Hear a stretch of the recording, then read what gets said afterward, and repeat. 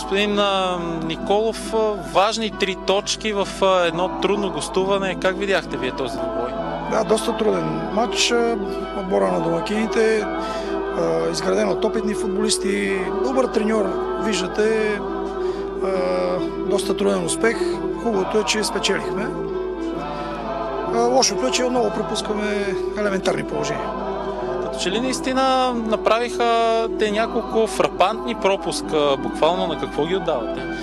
Ами не да знам, може би на напрежението, на, на бързината, с която искаме да, да поведем в резултата, защото ние поведем ли в резултата, после а, трудно губиме матч и това нещо може би а, ни оказва много голямо напрежение.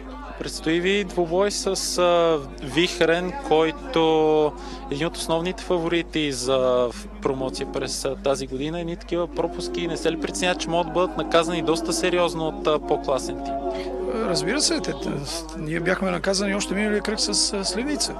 А изпуснахме сигурно Дуспа с още десетина положения нормално да бъдем наказани. Ми работиме, между другото, постоянно върху това нещо, но за съжаление, може би напрежението е в повече при нас.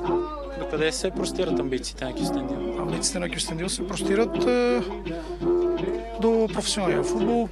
Всички искаме, цялото ръководство, ние като треньорски щаб, е, е, самите футболисти, ако можем да постигнем тази цел.